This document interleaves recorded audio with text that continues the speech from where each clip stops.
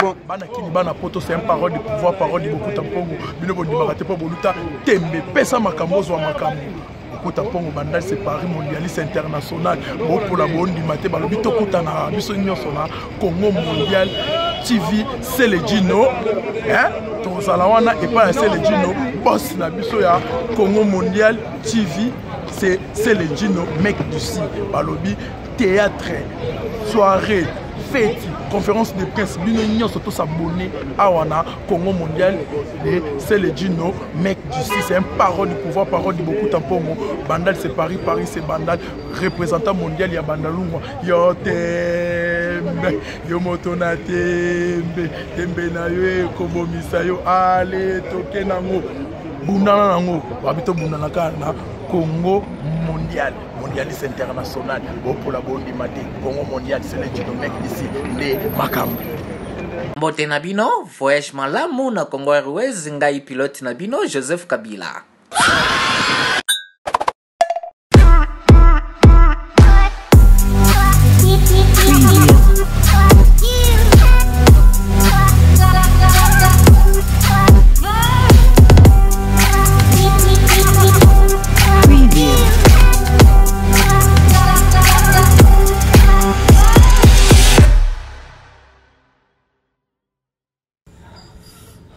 balobi grand prêtre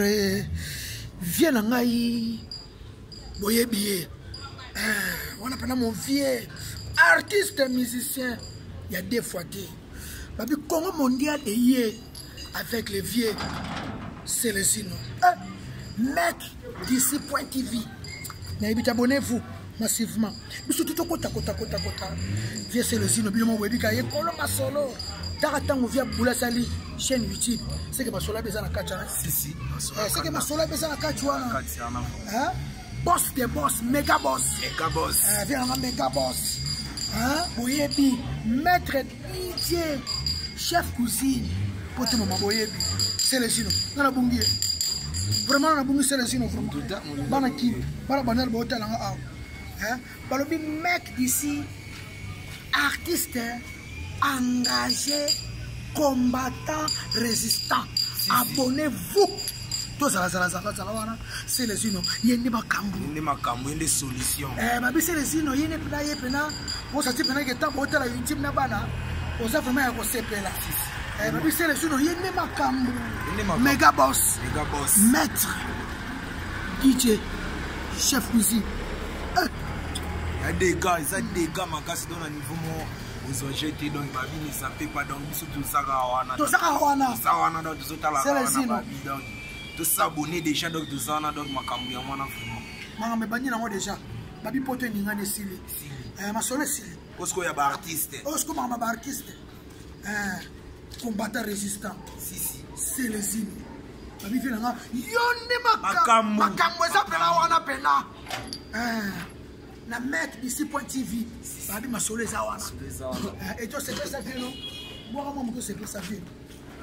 babi boya kotala boya kotala na meki donk na meki congo tv donk biso tu toza wana babi ne zape pa biso tu tozala wana boya kotala ye selejino alongolinga nsoni o ale selejino tabiba biso tu tozala wana babi tosala wana donk chaine ezaka moko abi ne zappe pas babi biso to s'abonner kaka wana donc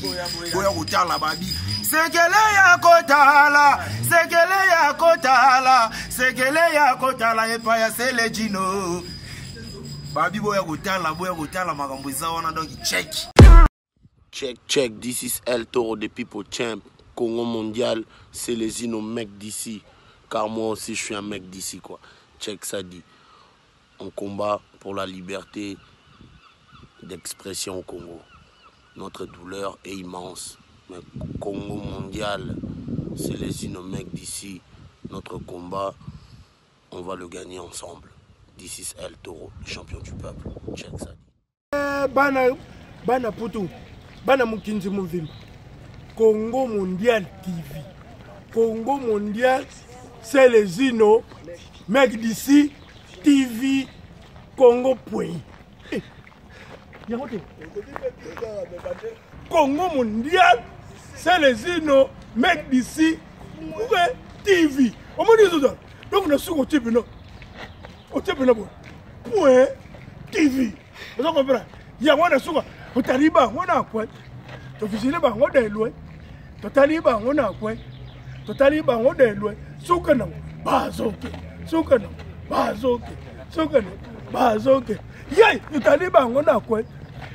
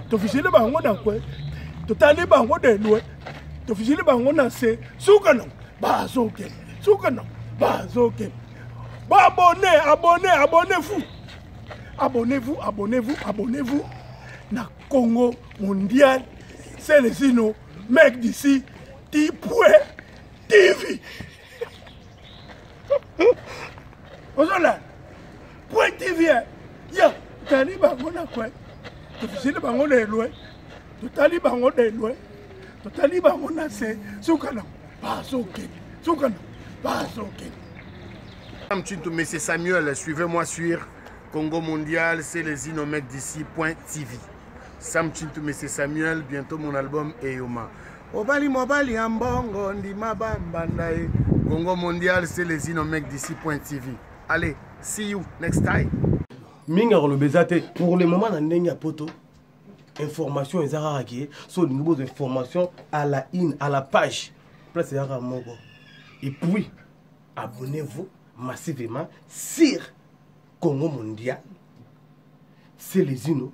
mec d'ici point tv kuna nde makambo nyonso ezali kuna toza na polémique te kuna polemique eza te donc ezala nani ozala nani okoya wana njaki ya télévision kasi nga dee naza wana lelo na interview bon tokutana et, eh, et, eh, et, eh, et, et abonnez-vous massivement sur le Congo mondial c'est les ino mère d'ici point tv toleka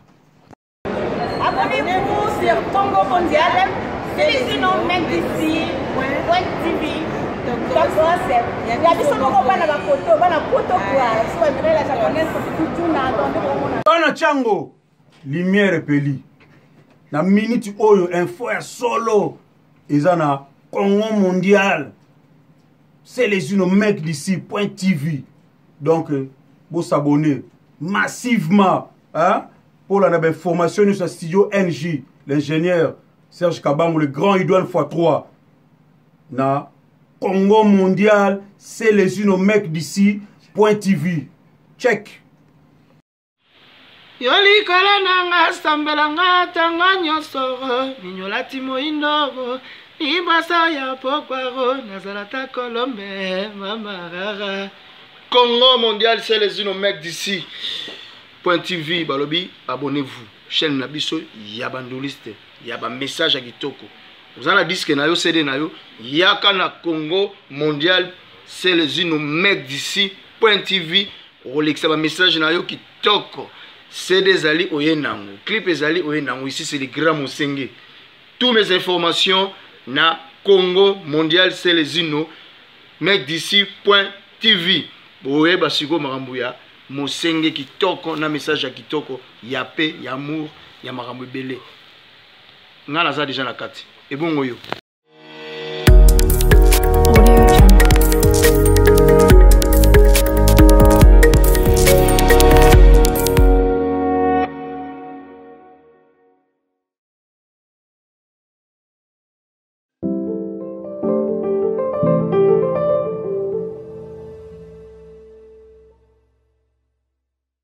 Bonjour, bonjour, les combattants résistants, bonjour, bonjour, bana Congo. Nde nayebisaka bino kaka ke euh, biso toya bamvulusi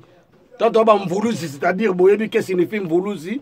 donc nous, on, va, on va jamais trahir notre pays nde bato mosusu batrahisaka pays mboka na biso congo ezokufa lelo tomoni phénomène moko ebimi na congo soki bakombo nyonso ya mabe eyaka na kiswahili kutu tolobi kiswahili eza nde tozobafue langue un de langue euh, une de langue ya mboka na biso donc bakombo nyonso ezoyaka na kinyarwanda kuluna ra, euh, rais igwe ujana babiloko moko ezangazanga na bakombo moko biso totikaka te lelo nayebisi bino ke tozalaki na chanson révolutionnaire chanson patriotique oyo grand prêtre le grand prêtre champion du peuple champion du monde hein? le gendarme de la, de la révolution congolaise oyo babengaka yuri muchafu yuri muchafu kalenga ye wana toye epa na ye lelo abengisa ye ngai alobi se ezino pourquoi pas pourquoi pas mpo boyebi kaka biso bayina biso mpo na tokolobelaka mboka mais lobi tokotunana baartiste collabo batondi trop kutu biso na yuri tobengaka bango deya baartiste pornographique baartiste pornographique batondi trop barumba barumba pornographique biso toye to, to na ba baline ya sika na bayuri yuri azosala banzembo ebele aza écrivain ye moko boyebi aza auteur compositeur parolier en même temps nkomi soki oye okutana mpe na nkomi bato batya tembele babuka mapeka mpo soki oye mpe okutana na nkomi parce que biso mpe ntango tolobaka boye tolandaka mpe bayuri na nsima na ndenge ke yuri basport to ayebi yango na kota miziki kutu azalazala preuve ande temoin oculaire nga moko nabeta ye na mouvement moko na masina nabeta na ye no grand animateur ya osangate grand chanteur ozongomona oyo oh, kutu baleki bato mosusu oyo oh, tengama e eh, mosusu kutu oyo oh, batyaka boyo eh, eloko oyo buzoba na buzoba donc yango na lelo nga na ye awa eza nango te mpona ya kotuna yuri baquestion tokotuna na baquestion yuri akotuna nga baquestion nga mpe nakotuna ye tokosolola oyo e, e, epesameli bana congo bayebake mboka na biso tokende wapi tokomi na niveau nini yuri bonjour Bonjour, c'est les Zino, le mec d'ici. Ah, mon frère. Bonjour, bonjour, bonjour. Donc, yo yebi kaka. Nga donc lokwa na beke non. Toi to yembi to siso yemba. To yembi chanson au boyo ko kala mingi te. Ya chanson révolutionnaire. Titre na ngo yemo azala ngo opesa parce que c'est lui l'auteur compositeur. Alors, moi j'ai participé parce que nga na zaka na combat mo na Yuri. Na na ligne mo na Yuri. Tout à fait. Donc, toza te ke o oh, soki bandenge nini ndenge nini ndeko na ngai hmm. biso toa bana cango hmm. toa bana cango cango ya na kati ya kinshasa cango eza na kati ya république démocratique du congo donc tozalaka bacongolais en grosso modo toza baétranger te yo oza étranger te ngai étranger te hmm. toza bana congo mpena banekongo alors ndeko na ngai yo makambo oyo ndenge ezokendela ya baélection oyo makambo oyo nde bana congo lelo oyoki ke toyaki na yo awa ah, toyoki message batindi biso na kin ke batie systeme ya sika yoka opération likofi wana ekomi mpena ya double makofi bamokotela mpena bagene na bapalin bamokotela bagene na bapalin parce que mpona badiminue mpenda population badiminue jeunesse ya congo parce que bayebi ke soulèvement populaire eza près yo olobi nini na makambo wana te nga déjà euh, bonjour na bato nyonso bakolanda nga na congo mondial tv ça c'est el toro congo mondial tv premièrement c'est la chaîne qui, qui fait en sorte qu'on puisse chaîne dire la complexe. vérité la, chan- ya la chaîne sans complexe comme dit Célésino. Célésino, moi je suis parmi le premier, nazalaki parmi le premier personne oyo babandaki kodénoncer makambo opération likofi yango omoni naye otala bacombattant to naye otala bacongolais certains combattants bakota komba mpona bakoma na succès mais ntango ekomela na makambo ba opération likofi nabenga kutu yuyu mutu mosi na se opération likofi azoboma bana congo tosalela yango émission aboya nabenga mwa bacombattant mosusu ebele baodombo nabenga bato oyo bazalaki na mwa bakombo balogi batete me ntango na yo omona bango baboyi kolobela makambo ya opération likofi nabenga kutu bazoro bilel nabenga bango me namona bango kaka bango kaka kabila kende me opération likofi c'est la preuve oyo que le gouvernement de kabila kabange euh, c'est un gouvernement qui est en train de tuer la, la population au contraire opération likofi c'est la preuve de combattants babundela congo baloba que voilà kabila il a mis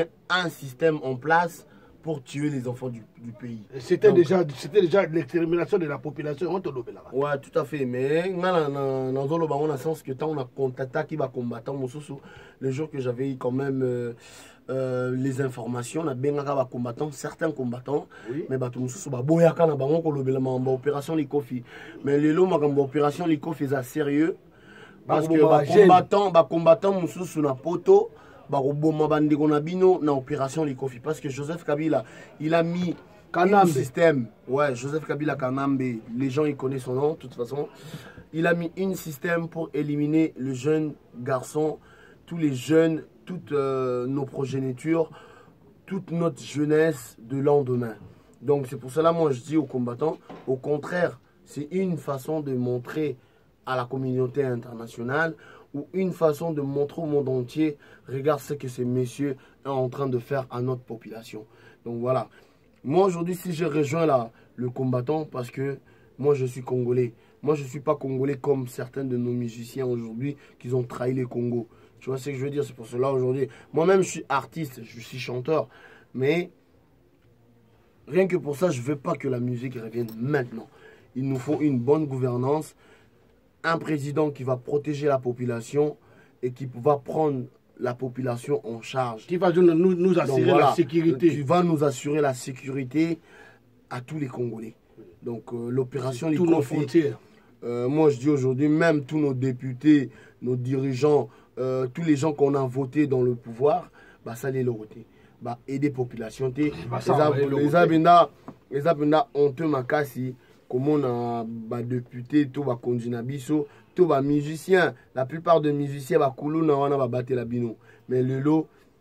Euh, bazoboma bango bozoloba eloko te donc c'est pour cela nous mais omoni yo na kati maloba te on veut pas la musique na kati maloba te si on arrive tokomi na point oyo ozoloba ke badepute bato wana nyonso basala eloko te badepute we c'est pour vous dire que euh, pour dire à euh, tous les mélomanes qui nous suivent à ce moment pour, pour, pour vous dire que bino bapeuple congolais boyeba ke bato wana bino te bovota bango bango te bavota bango batia bango baimposa bango par la force baimposa bango edi maintenant moi yuri azwi nga aimpose nga par la force eke moi nga nakokembela nani na banda okumisa nani kaka yuri ndenge moko barwandais wana hipolite kanambe alias joseph kabila mwana ndeki kazemberembe ye na baninga na ye ba, ba, ba, ba,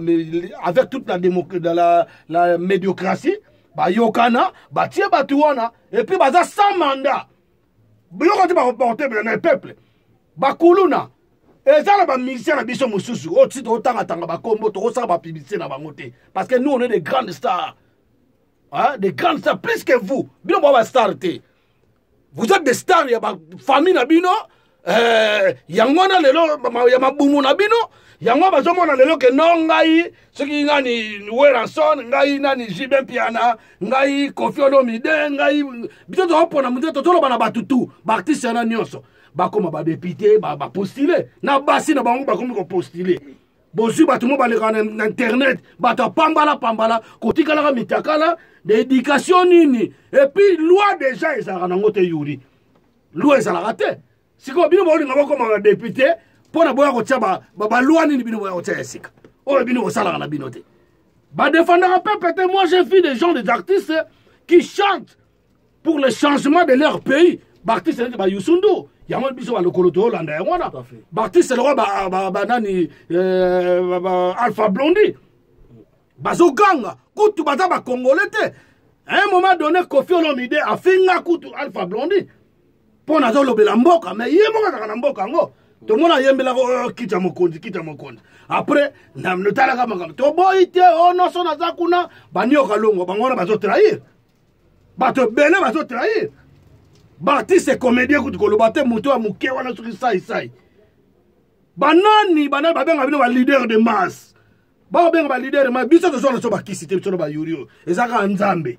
eya kaka nzambe tobundaka na nzambe mais peuple congolais eh, peuple congolais boyeba yango ebele si bazwi conscience me bamisusu wana balandakalandaka bafanatisme ya paa pamba omona tofinga yuri mpo na wera azobosana ke wera ata mosusu bapesaki ye mbongo mpe na entourage oyo elandaka bango partout mpo abomisaka mpe peuple babiloko wana tolobi yango te tokoloba yango biso lelo ta mosusu toyebi te ta mosusu tozalaka bien toyebi bandani tokao na kati yo te ngai aloba neti ata lelo phénomène kuluna lelo bazoboma bajeune eza soni mingi mpona ba weranson ba, ba artiste musicien na biso parce que moi je les considère pas nos artistes musiciens donc après voilà moi j'ai jamais considéré nos artistes musiciens parce que peuple oyo akomisi bango riche bango batali peuple wana te baza basanguinaire tu vois ce que je veux dire moi aujourd'hui je vous rejoins mais je rejoins votre peut-être votre groupe jamais je vais rejoindre les sanguinaires tu vois ce que je veux dire c'est pour cela babiso oyo toza na bakanda toza da toza da na bakanda ya ya makasi na koloba suzu eloko mosusu natala video moko boye zakari bababaswe azofinga bana poto ouais. zakari bababaswe ta pas insulte les, les naloba yango toujours na continue yango susu olobake bana poto kabila euh, akotongela bino ndako te bofo ya kotonga ndako no moko bovanda na ba hlm yeah, la, preuve, la preuve de votre gouvernement c'est que Euh, votre gouvernement ne prend pas en charge la population na kata mboka na biso ba sdf baza mm. ebongo baoyo baza incapable bakotonga bandako banani bakologe bango donc c'est la preuve que zakari bababas tu es un connard toute façon abike mwana na bota abala masa na biso mwa denkerki mokolo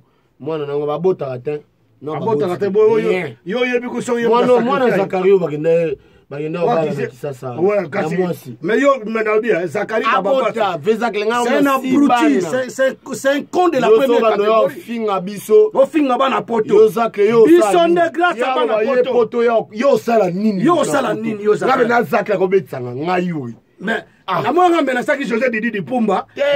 wana omenase ah. moto alobaka te yaka komenase babiso boya bato na yo boya zakari tokolakisa omoni bango bayalitufia mama omoni zakarikanda ve wana il a pas le droit d'insulter les bana poto ah oui ozokomprendre nalobi na kati ya maloba te yuri omoni bakongo lokola bazakari bababaso lelo oyo yo banda oloba yo kabila kabila kato nga naye kozwa parti na nga boye na boye ozofinga na bana poto ndenge yuri auti koloba lelo aza wapi aza invalide aza invalide omoni place bazolinga bato bazoboma kongo nde eza baoyo bazakari oyo bazakari oyo bazoboma kongo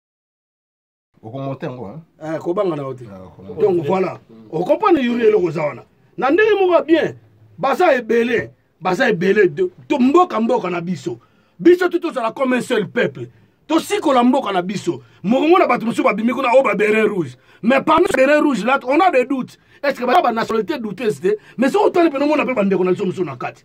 eloko ezobomisa biso yango wana ezopesana kanda ya kosakana te lelo bazoboma bandeko na bino na ndako yo zakari bababaso oza na ba arrière cousin te ba cousin cousin derrière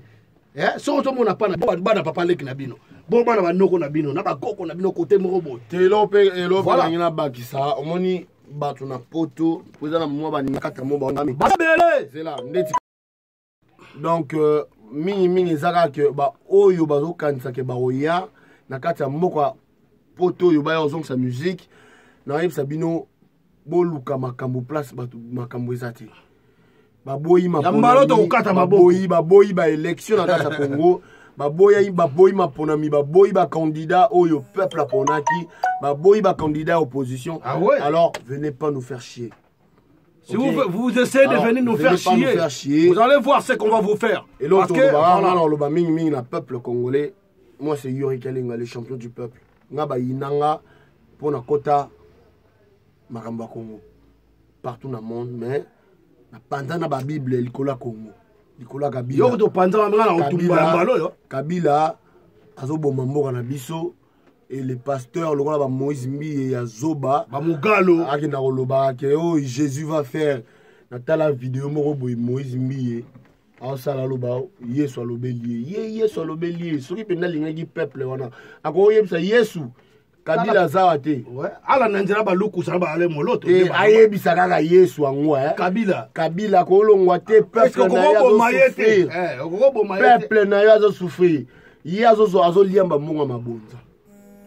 me mabonza oyo nyonso eh, bato bapesaka na église église yoka yoka nono église na ah. bango ah. aucun église au congo a créé une hôpital alors baza bamensongère baza miyibi na kotia sous sete moïse mbiye n'est pas de dieu nga akotisanga na nzembo na ye ya molongi me ntango tosala clip na na nga moko naza moto ya mystique na santa mpena rien il n'est pas de dieu oui, c'est un sataniste voilà, c'est un sataniste il n'est pas de dieu bana congo bolanda baeglise te bolanda botika makambo ya baeglise wana revendiquer le droit humain lelo eloko ezoboma biso bolandi trop d'église c'est que il faut qu'on revendique nos droits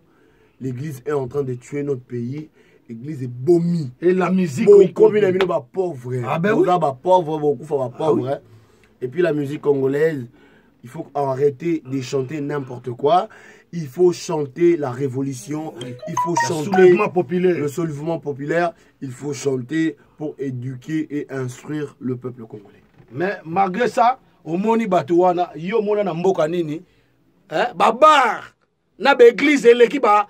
ba école na bopito na ebele hein? trop c'est trop trop c'est trop tolobi ke trop c'est trop ngai nalobi na tosala émission awa nayebisi bino bato bakokanisa kongo eza papier na ntango mobutu tomonaka mwasi ata bulei te to mwasi ya, ya, ya lwambo makiadi te akende posede akoma commissaire du peuple ndenge ezalaka député tomona yango te donc lelo tomonaka te motu moko boye chantal kaniembo oyo azalaki eh, oyo azalaki eh, komone nani azalaki journaliste na, eh, na, na ozer te akende pesa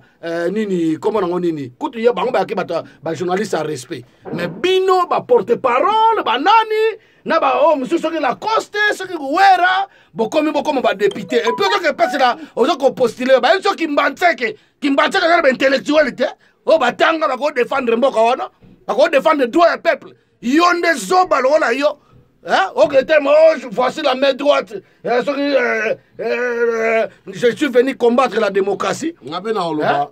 mingimingi na oloba lelo bacongolais toza suzoba te la prochaine fois que tokovote tozala mpenza tozala na bainitiative epuis topona moto akoya na baprojet na baprojet concret na baprojet ya blabla te oyo kabila ayela biso 5 chantier ya soki ya mafuiti soki ya nini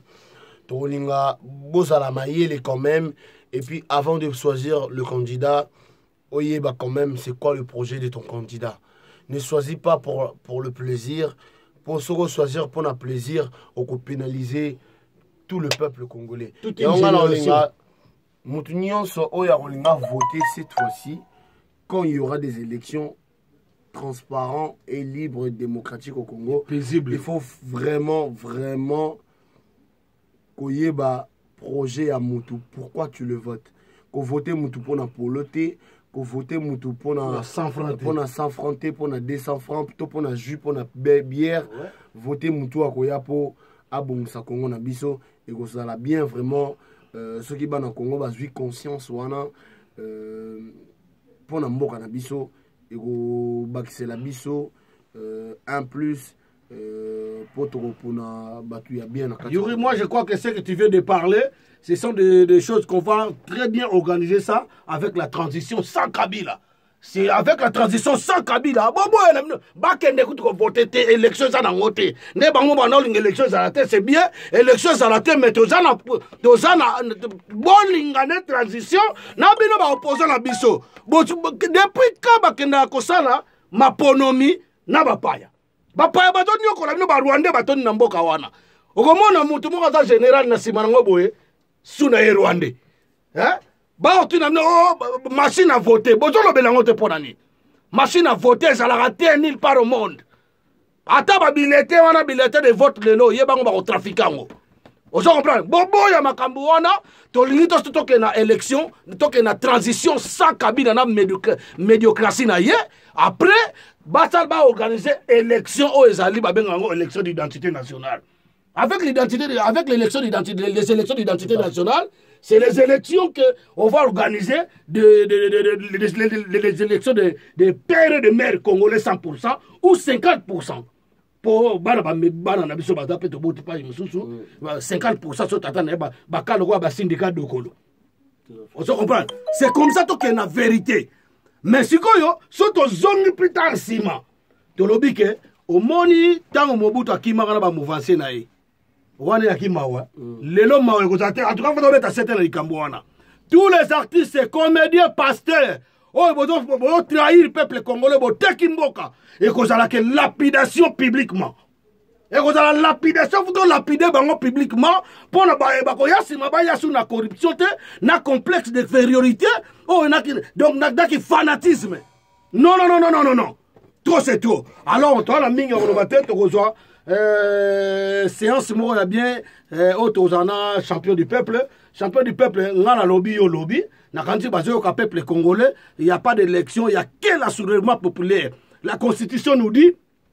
Deux mandats renouvelables, hein, c'est tout. Et non troisième mandat. Et là, toute personne qui veut, qui veut briguer ou prendre euh, euh, le pouvoir par la force, ça nous demande l'article la, la, la, 64, soulèvement populaire. Na évité Yurika Lenga, pa bato wana nyonso to bafanatisme oyo batikali na poto awa omona bazolobela moto moko neti oyo na verité ye azofinga kote quelque part bato wana tokanda kobeta bino na nzela sikoyo mpo bato oyo bazokufa na congo bakalikilaka bango te o oh no bino bofingaka tozofinga parceke toza na arme mosusu te ya koloba ya kosalela donc bango basalela arme ya koboma bato bino tozosalela arme akoyokisa bango mpasi donc yango tolobi motu akokomeka kokotela motu oyo batie ye na place nde bazongisi ye tout droit en tout cas biso toana nous on est des mecs d'ici toana baporte na bacité yuri le champion donc on est là donc biso toza bamouton te toza bamouton te mpo bonyokola peuple congolais ngai na suki wana yango nalobi ke ingeta ingeta ingeta bino mpe bacombattant na kaa ya bacombattant biso bacombattant mpo biso toza bacombattant na bacombattant totika nanu balese ale o oh, motu moko boye na biso nde tobetaka na diaspora awa o oh, yurika alenga kobeta aye motu moko aye kotala ye neti baheritier peti wana heritier ao tobeta soki aniversaire na biloko wana mike mike toboyi yango soki oza combattant oza combattant soki oza combattant te bapesi yo mwa mbongo mpo osoutenir motu moko boye se kokomi anti combattant donc okomi na sens oppose donc bokeba na makambo ya tokokoma lumbe lumbe tozonga ya danger epuis yango tolobi ke motu nyonso oyo atrahir peuple ata na libanda motu neti saisai otyaki monoko jour okoya a okobetama okobetama wana tozopromettre bazakari bokobeta bamoïse mbiye ekobeta donc eloko nango naloba naa mingi nakoloba te natiki église na, na paris toboma na bato bana betel cité betel je lance un message au cité betel dit à pasteur moïse mbiye moi yuri kalemba le jour otiakaka église awa na paris nakobeta ye nakobete mpenza bamakofi atindi gege na ebaki ye gege atinda gege nga so atindi gege gege akoma ya nga mpo azonga su te mpo gege akolela nga danger mpo gege wana biso ngo tokarese ye eh. tokoambrase ye mpe atikali ya biso atikali ya nga eh, donc voyant tozolobaa na ta libumu monene ta ngai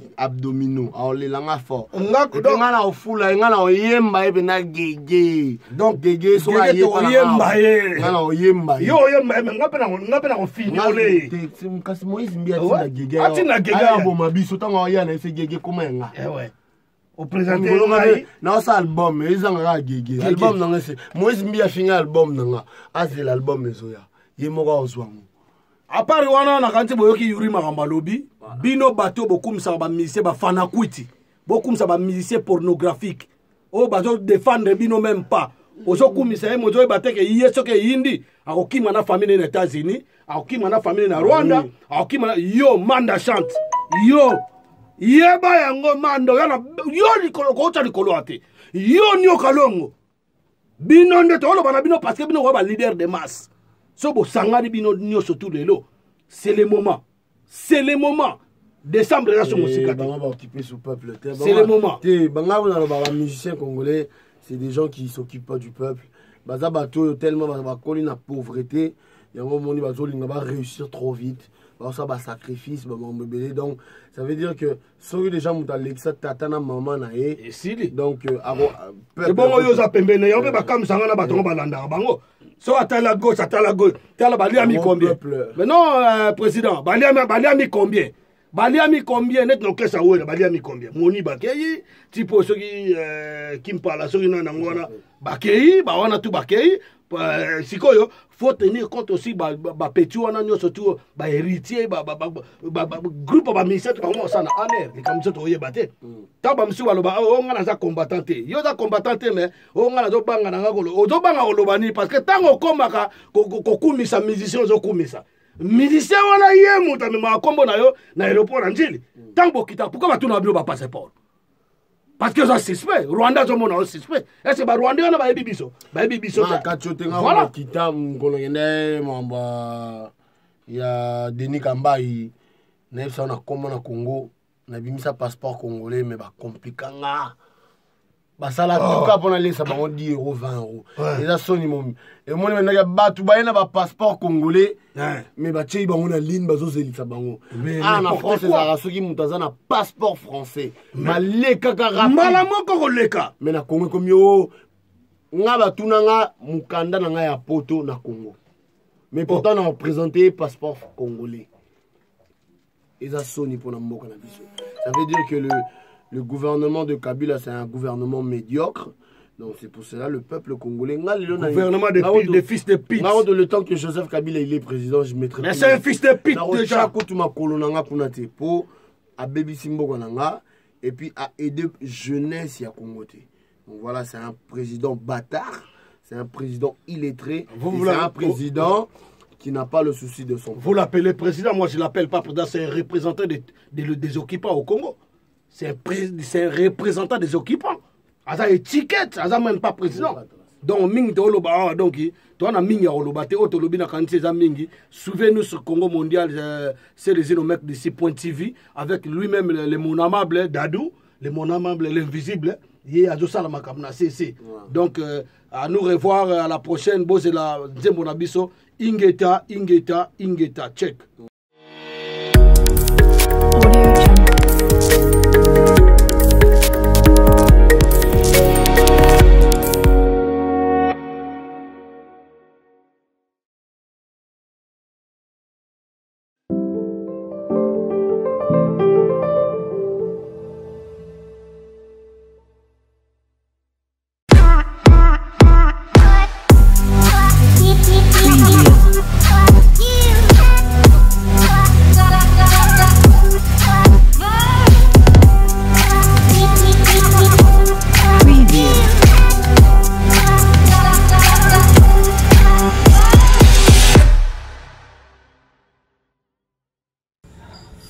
eh, balobi grand prêtre eh, vie na ngai boyebi ye eh, wana mpena mon vieux artiste musicien ya deux fois te babi congo mondial eye avec le vieux celesino eh, mec d'ici point tv nayebi t'abonnez vous massivement biso te tokotakotakotakota vie selozino bino moboyebi ka ye kolo masolo taka ntango vie abula asali chaîne youtube seke masolo abe eza na kati wana seke eh, masolo abe eza na kati wana boss de boss mega boss vie nanga mega boss boyebi maître Dieu, chef cuisine, pote mama boyebi, Celestino, nga na bungi ye. Vraiment na bungi Celestino vraiment. Bana ki, bana banal bo tala nga awa. Hein? Balobi mec d'ici artiste engagé combattant résistant. Abonnez-vous. Tozala zala zala zala wana. selezino ye nde makambo nde makambo ye nde solution eh, babi selezino ye nde mpena ye mpena osati mpena ke ntango otala youtube na bana oza vraiment ya kosepela eh, babi selezino ye nde makambo mega bos maître dj chef kusi eh. ya dega eza dega makasi don na niveau moko ozwa jete donc babini esape pa donc biso tozaka wana tozaka wana wana donc tozotala wana babi donc tosabone deja donc toza wana donc makambo ya mwana vraiment makambo ebandi nango deja babi poto eningani esili eh, masolo esili osiko ya baartiste osiko makambo ya baartiste eh, combattant résistant sisi selezini babi mpe nanga yo nde makambo eza mpena wana mpena eh, na mek disi point tv babi masolo eza wana etosepesa bino bwaka mwa moto osepesa bino babi boya kotala boya kotala na meki donk na meki congo tv donk biso tu toza wana babi ne zape pa biso tu tozala wana boya kotala ye seledino alongolinga nsoni o ale seledino tabiba biso tu tozala wana babi tosala wana donk chaine ezaka moko babi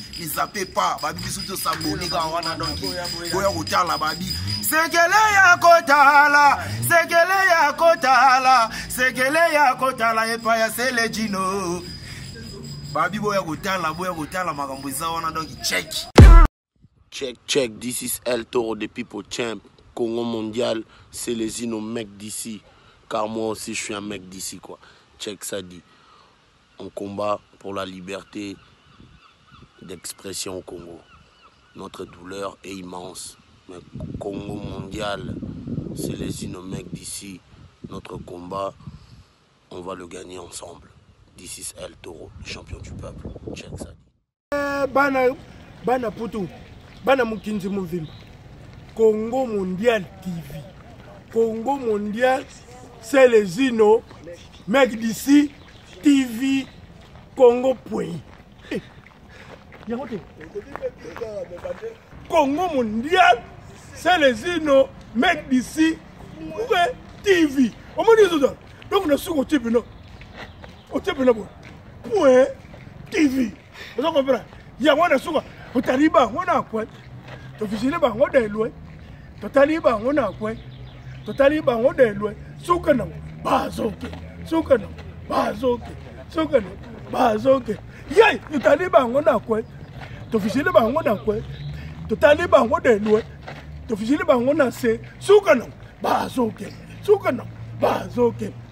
Bon abonné, abonné, abonnez-vous. Abonnez-vous, abonnez-vous, abonnez-vous. Na Congo mondial, c'est les sinon, mec d'ici, Tipoué TV. Ozola, Point TV, hein. ya, tali bango na kwe, tofisili bango na elwe, totali bango na elwe, totali bango na se, suka na bazokende sokana bazokende Mchintu, mais c'est Samuel, suivez-moi sur Congo Mondial, c'est les Inomec d'ici, point TV. Sam Chintu, mais c'est Samuel, bientôt mon album Eyoma. Obali Mobali Ambongo, Ndima Bambandae, Congo Mondial, c'est les Inomec d'ici, point TV. Allez, see you next time. Minga Rolobezate, pour le moment, na ndenge ya poto, information eza kaka ke so olingi bozwa information à la une à la page place eza kaka moko et puis abonnez-vous massivement sur congo mondial selezino mec d'ici point tv kuna nde makambo nyonso ezali kuna toza na polémique te kuna polemique eza te donc ezala nani ozala nani okoya wana njaki ya télévision kasi nga dee naza wana lelo na interview bon tokutana et, eh, et, eh, et, eh, et, et abonnez-vous massivement sur le Congo mondial c'est les unes mère d'ici point tv toleka